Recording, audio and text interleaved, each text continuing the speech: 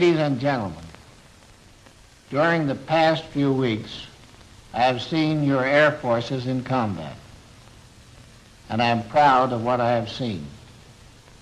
When I refer to the United States Army Air Forces as your air forces, I mean it in every sense of the word. In two years, we have come up from seventh place to first place. And today, we have the largest and mightiest air force in the world. That was a job accomplished by the will and energy of the entire people of the United States. It was accomplished by our young men who left their peacetime pursuits to become pilots, bombardiers, radio technicians, gunners, by those who operated our great commercial airlines. It was accomplished by American labor, by the veterans, the newcomers, by actors, welders, typists. We welcomed anyone who was skilled. And we were grateful to those who willingly forgot their usual Sunday afternoon drives. The building of our Army Air Forces is a great achievement of a democratic people and a democratic government. Many facts have been withheld in the past for reasons of military secrecy. Some of these facts can now be given as a record of your achievements, as a report of what you have done and are doing. Every American can well be proud of this record.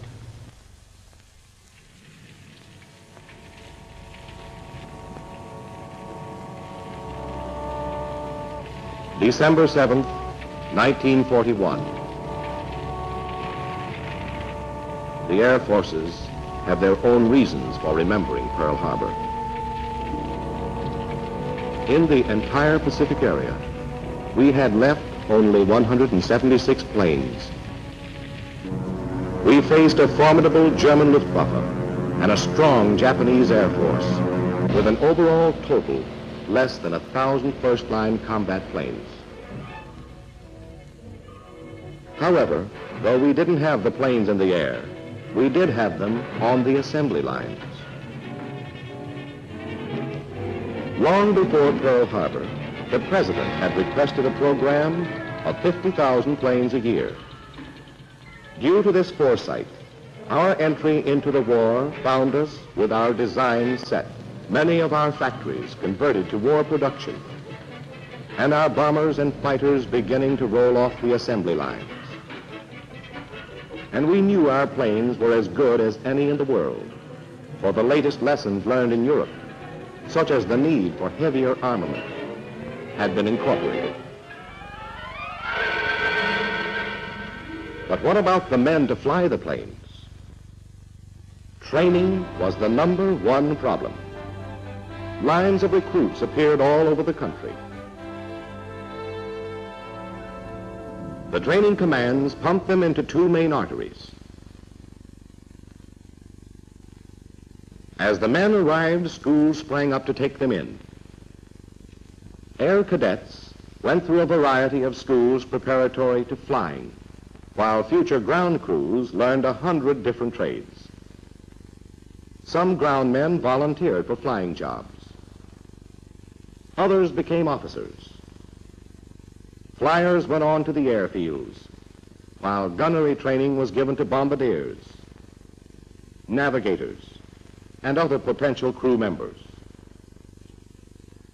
Gaining constantly in skill, individually trained men from a thousand schools poured on schedule into the operational training units. Here at last, they become units of air power. This program keeps aloft in the United States every day more than 120,000 men.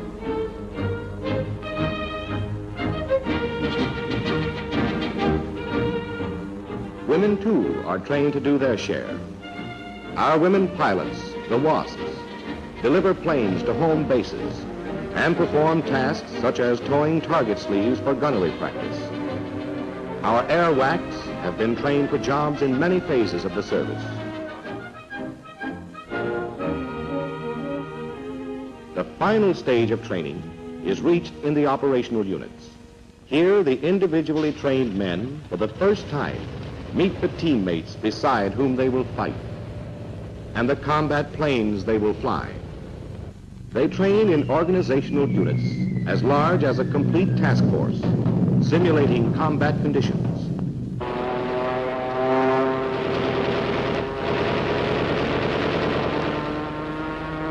At the Florida Tactical Center, officers back from duty overseas bring new problems, new frontline techniques to be worked out and taught.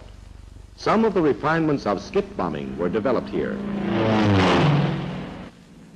With a modified gun sight at low altitude, the pilot shoots his bombs into the target and takes evasive action. In a few weeks, this dummy target will be an enemy tank.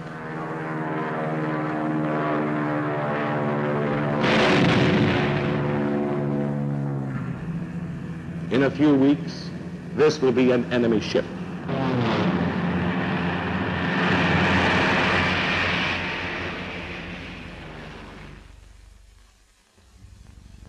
When ready for combat, the individual bomber team is already part of a larger team called a squadron.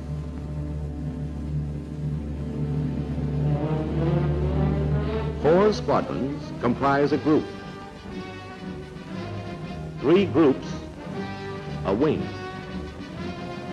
Five wings, an air division. And four divisions, a bomber command. A fighter command is built up much the same way. Another vital command is the Air Service Command. They are the boys without whom the planes would never leave the ground. To service the planes, repair shops and warehouses have been established, such as this one in England. These warehouses stock four times as many items as there are in a Sears Roebuck catalog. The Service Command has become the biggest export business in the world, delivering in huge quantities.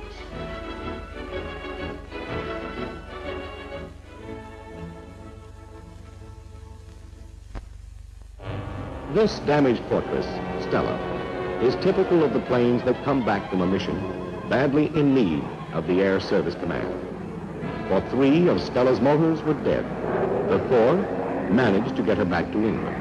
But she ended up in a meadow. Stella was a mess. Until a mobile machine shop arrived.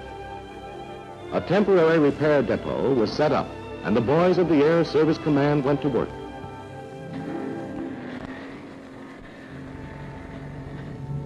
After a few days, it began to look as though Stella might use a runway again. So bulldozers were moved in. A few new parts, a few more days, and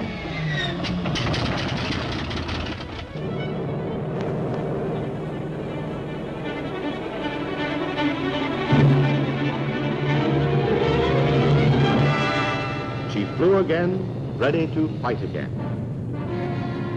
Thanks to the Air Service Command. The three commands are the backbone of an overseas air force. This is a global war. To understand the extent of our air operation, we must take a global point of view. You're looking at the world spread out from the North Pole. Today we have 15 air forces, all joined together by the network of the Air Transport Command. 110,000 miles of regularly scheduled routes, four and one half times around the world. Over these routes, the ATC ferries planes from factory to front. It transports key personnel and delivers supplies at the rate of 10 million miles a month.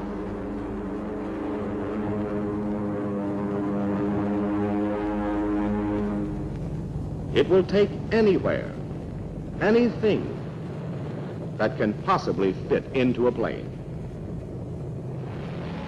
Once it delivered to Alaska, a complete hospital in 36 hours.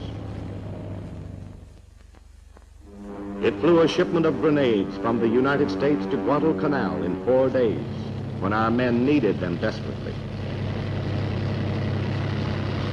The little extra that can turn the tide of battle. This is the daily mission of the Air Transport Command.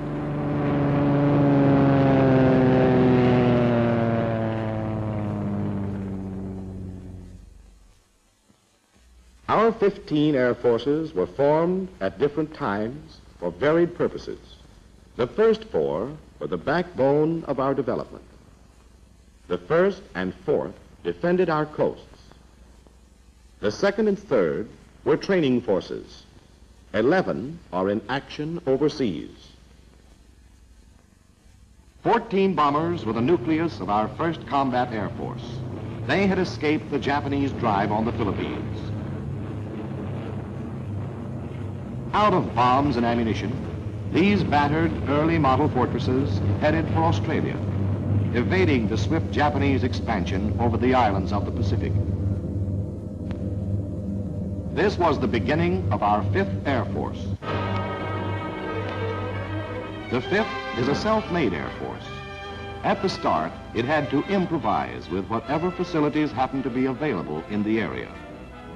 Nevertheless, Within three months, it had joined the Navy in the Battle of the Coral Sea.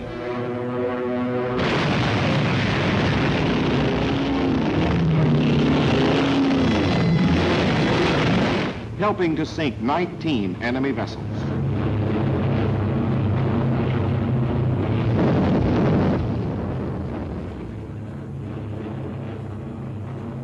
Some months later, a B-24 on reconnaissance located a column of Japanese warships moving through the Bismarck Sea toward New Guinea. This was the fifth big chance. Every available plane was sent into action.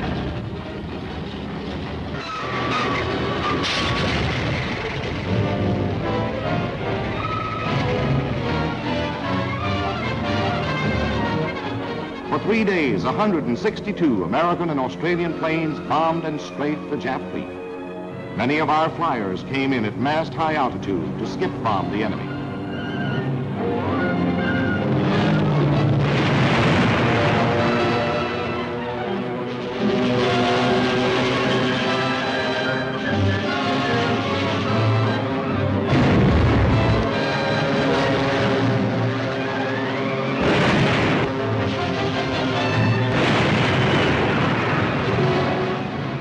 A cost of only six of our planes and 13 of our men, the convoy was smashed and an entire division of Jap troops wiped out. This marked the limit of Japanese expansion. The 5th proceeded to take the offensive against the enemy's formidable system of interlocking bases. Japanese pressure had been concentrated on Port Moresby. We countered swiftly. Our troop carrier command flew 15,000 men across the Owen Stanley Range in one air movement.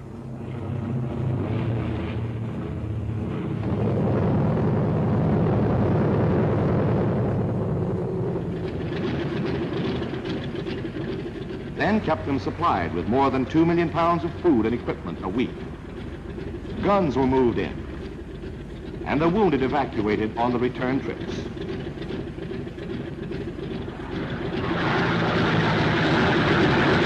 Following the spearhead came the engineers. Sometimes they had equipment. Sometimes they improvised.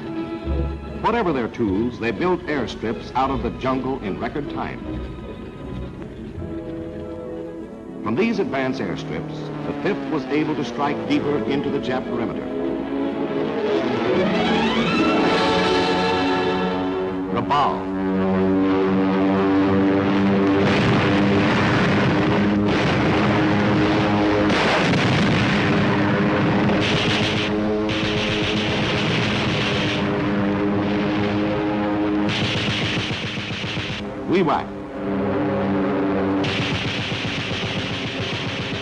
We strafe enemy airfields and installations again and again.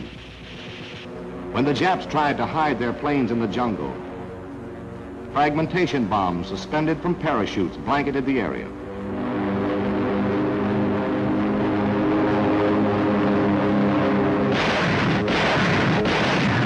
The 5th has destroyed over 1,500 enemy planes, 400 of them at Wewak alone.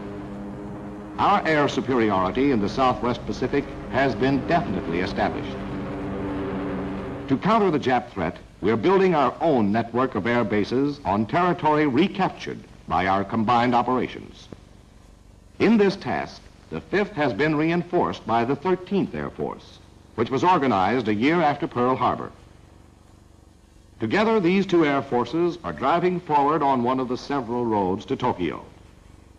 The 13th was activated with units from the 7th Air Force.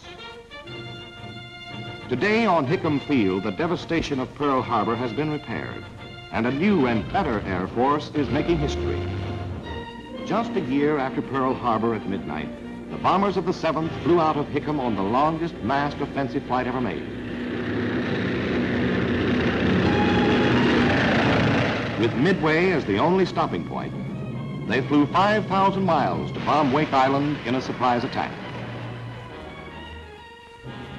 To the south, the 7th established its bases on the Ellice Islands. From here, it battered Jap defense installations on the Gilberts, paving the way for the successful assault of our amphibious forces. From advanced bases on the Gilberts, the 7th put into combat a new weapon. In addition to its deadly 50 caliber machine guns, this B-25G was equipped with a 75 millimeter cannon.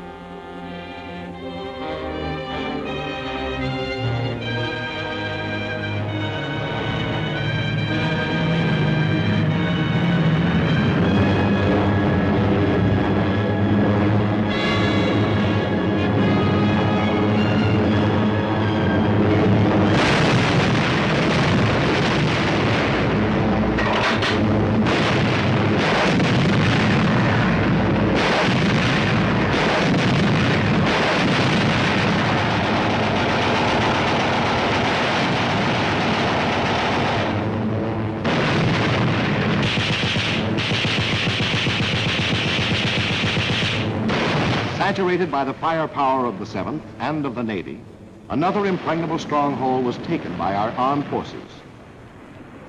The 7th is opening up another approach to Tokyo. While the 7th was being built, the Japanese threatened in the north. In a surprise assault, they seized and fortified Kiska. We rushed planes to the 11th Air Force in the Aleutians. Finally, the Japs were squeezed out. From here, we have bombed Paramushiro, Japan's northernmost naval base. The 11th represents a third road to Tokyo. Many of the planes that were rushed to the Aleutians came from Panama, where our 6th Air Force has defended the Canal Zone. The 6th has patrolled the Caribbean for submarines and guarded the sea routes to Africa and Europe.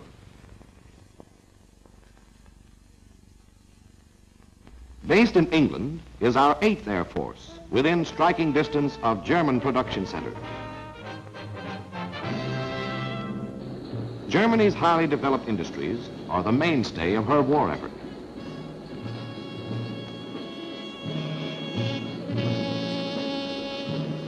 Our strategic bombing has been aimed at the heart of these industries, executing the United Nations strategy of weakening Germany for the invasion.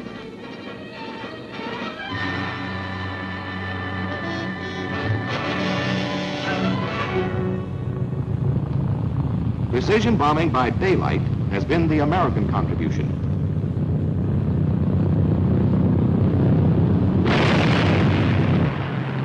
Night attacks on whole industrial areas has been the job of Britain's RAF.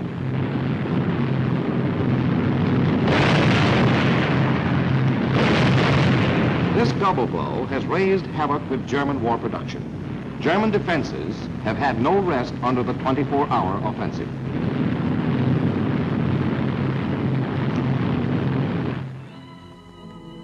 Wrecked cities present an additional problem. As this captured film shows, the Army has been forced to take charge of Berlin's frightened population.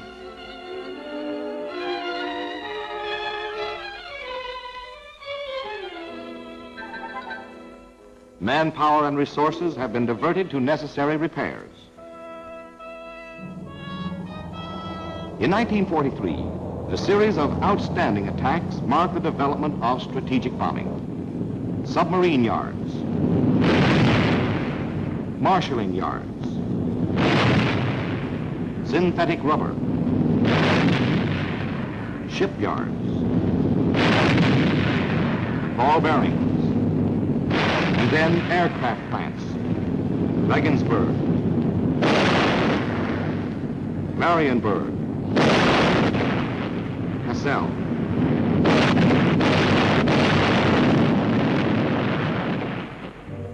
Today, the huge missions over Europe must be carefully and elaborately planned. Our flyers can expect any trip to develop into a major air battle. At a dozen scattered airfields, the bombers are assembled and moved to the starting lines.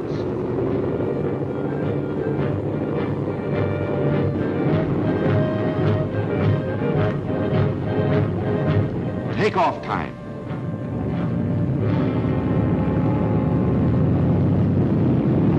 And the imposing forts and liberators thunder into the gray English dawn.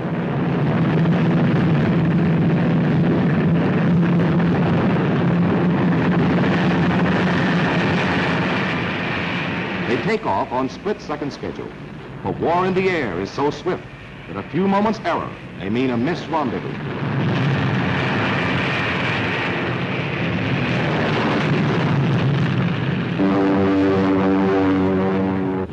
Fighter fields, thunderbolts are ready.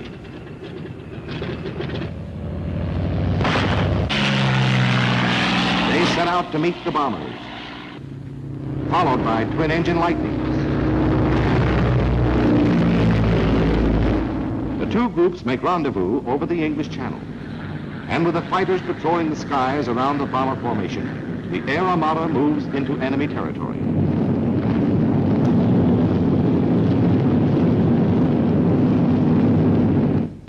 News of the approaching air invasion is flashed through the German warning system.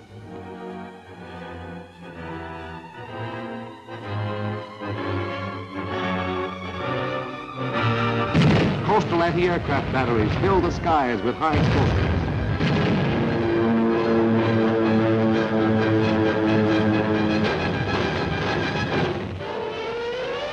Alarm sirens wail over the German fighter fields and pilots sprint to their planes.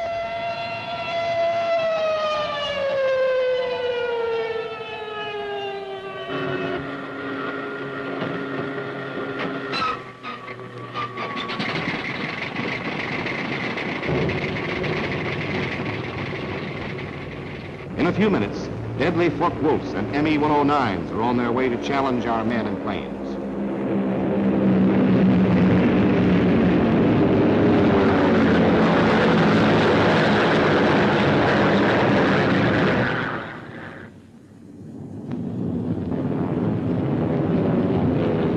Our fighters peel off to meet the enemy threat, and the battle is on.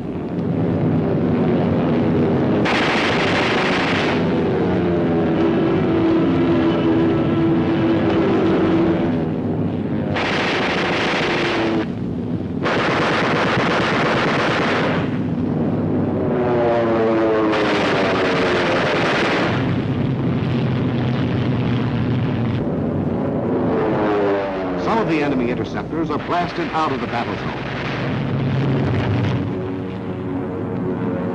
Despite opposition, the bombers push on deeper into enemy territory, their progress mapped by vapor trails. In formation, the bombers can lay down a deadly pattern of protective fire.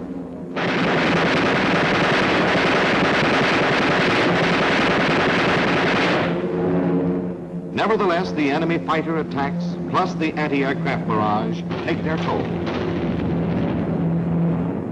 Our planes begin to show damage. Some drop behind. Above the battle, the enemy commander locates the stragglers. His fighters close into the kill. This is called the big lead. Look at the battle from the German angle. Through German cameras and see why.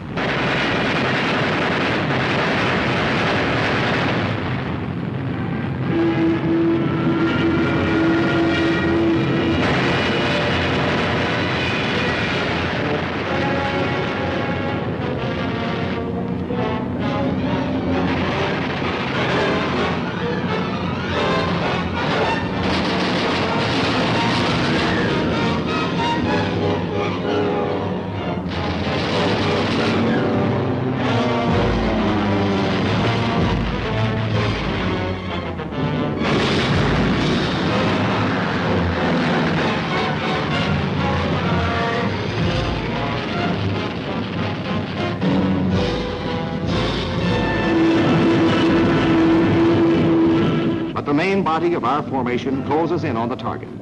The enemy has never succeeded in making an American mission turn back before completing its task.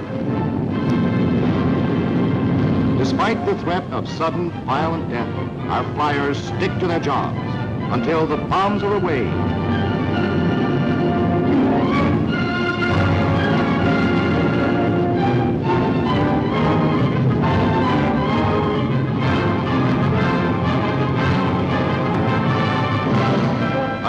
target is destroyed. While the 8th hammered Europe, a new Air Force, known by the code name of Junior, had been activated. Its purpose, strength and destination, all secret. The secret came out in Africa. Junior was the 12th, an air force created to take part in the African invasion.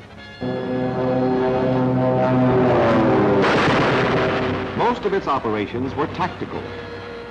A tactical air force operates in the battle zone, smashing the enemy wherever he is vulnerable. It works with the ground troops, employing low-flying medium bombers and hard-hitting fighter planes.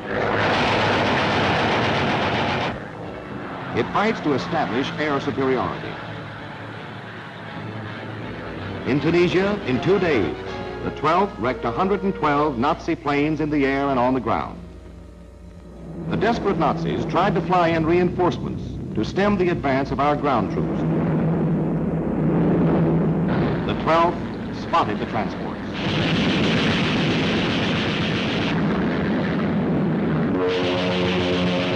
No reinforcements arrived. In the meantime, the 9th Air Force had joined the RAF in covering General Montgomery's victorious march from El Alamein. At the close of this campaign, the 9th joined Junior, and they worked together in the invasion of Sicily and Italy. In amphibious landings, the foot soldier has to carry out one of the toughest and most dangerous of all combat assignments. Air cover is of supreme importance, both to his morale and to the success of the operations.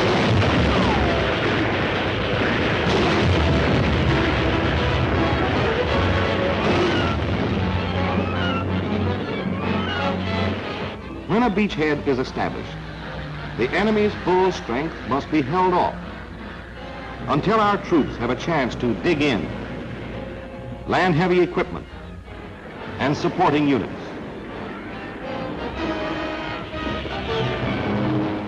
The tactical air power of the 12th and the 9th accomplished this in Italy. Our planes riddled the enemy's communications.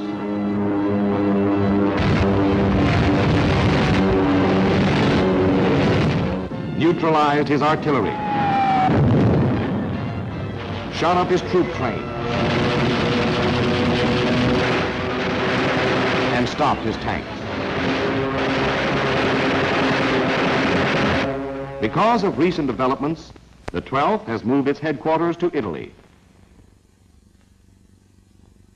The 9th is in England for current operations. And our newest Air Force the 15th, has moved into Africa. With this distribution of air forces, tactical coverage can be provided for any presently contemplated land operation. From its bases in Africa and Italy, the 15th can carry out strategic bombing over the whole of southern Europe. While from England, the 8th can plaster northern Europe. Together, they cover Hitler's entire fortress. There is no corner of his stronghold that cannot be reached by the crippling blows of strategic bombing. Our remaining two air forces have operated on the other side of the world, in India and China. Japan's unwarranted campaign of aggression began 13 years ago. A powerful Jap Air Force had undisputed control of the Chinese skies. These were happy days for the Jap flyer.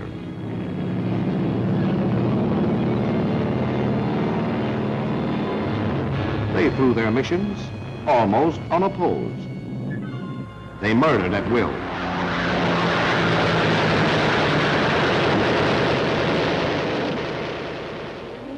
But in 1941, while America was still at peace, some visitors arrived in China. These were the Flying Tigers, under the command of a master tactician, Claire L. Chennault.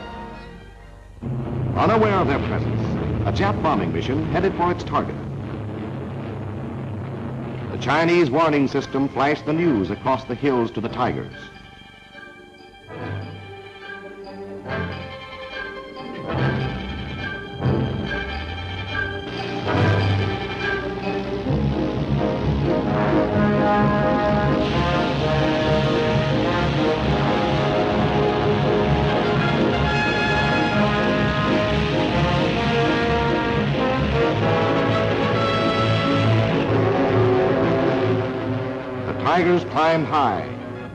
the enemy came on unsuspecting.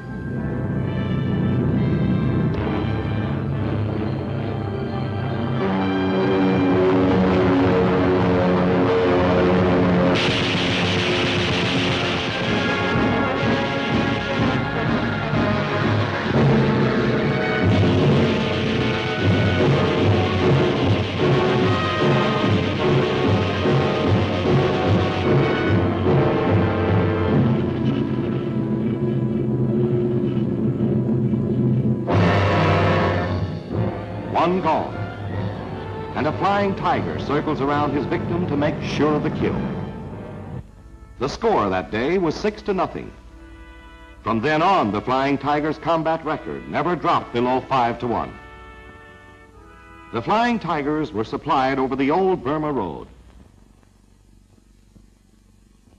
Following Pearl Harbor, Japan took Burma and cut this supply line. The Tigers became members of General Chennault's 14th Army Air Force. But because of this same problem of supply, the 14th is still numerically small. Supplies for the 14th start the journey from the United States by ship. After a voyage that takes two months, the vital cargo is unloaded at Calcutta. The bulk of it must be pushed to the river docks, laboriously loaded onto barges, and shipped upriver to Assam. Length of the trip, 40 days. The other route to Assam is by rail on a primitive railroad.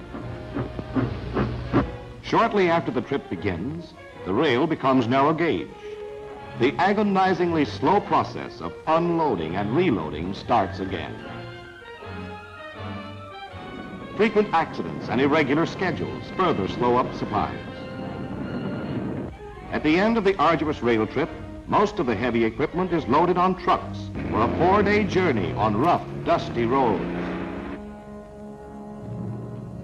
And so by ship, train, river barge, and truck, the supplies for the 14th were painfully assembled in Assam, headquarters of our 10th Air Force.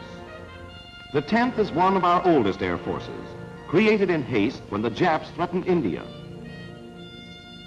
Today it defends the western terminus of the only route left into China, the hop from Assam across the mountains to Kunming.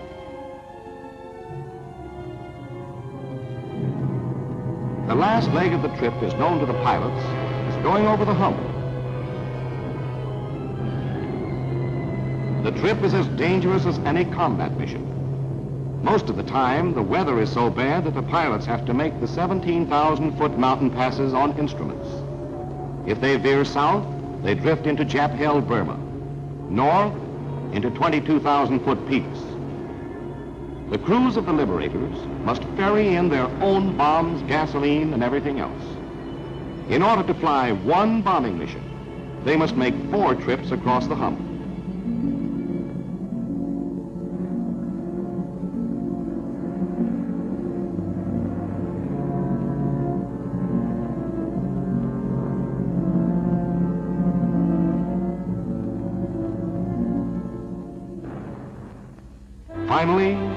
Bombs, the gas, the tires, the food, the cigarettes, the thousand things our flyers must have arrive at Kunming.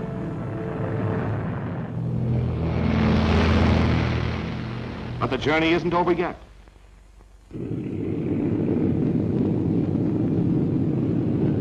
There's one more leg into enemy territory. Hong Kong is the objective on this mission. The bombs are finally away.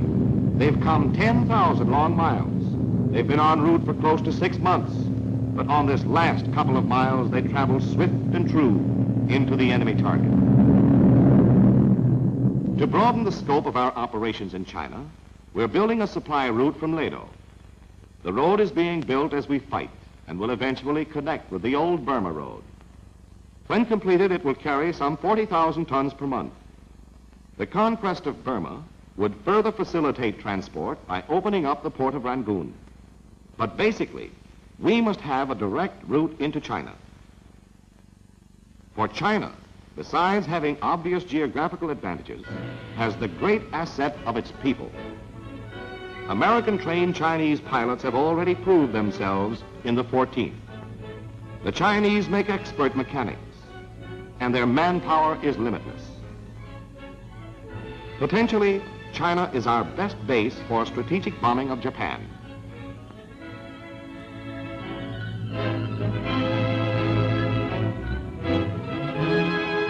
We've struck at the enemy's defenses from every side.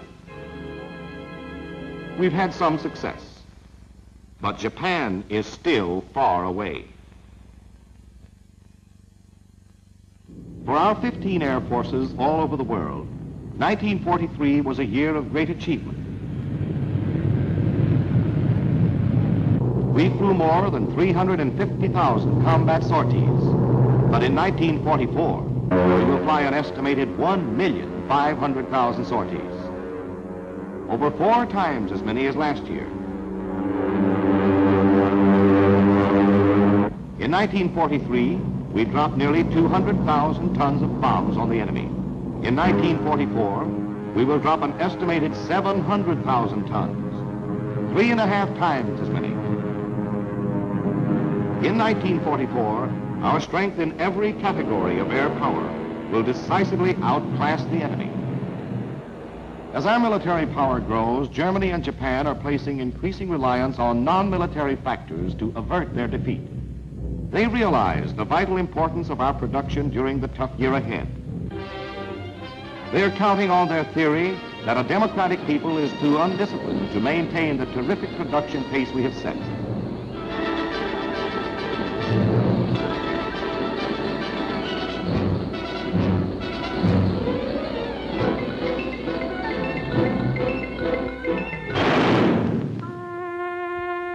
They think they can make the cost of victory so horrible that we will weary of the horror.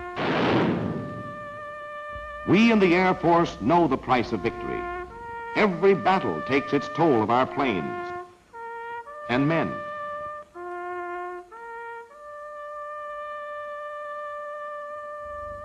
Our enemies think that we will flinch at the prospect of further casualties and settle for a compromise peace. A compromise peace is the secret weapon of the enemy. Our answer is this.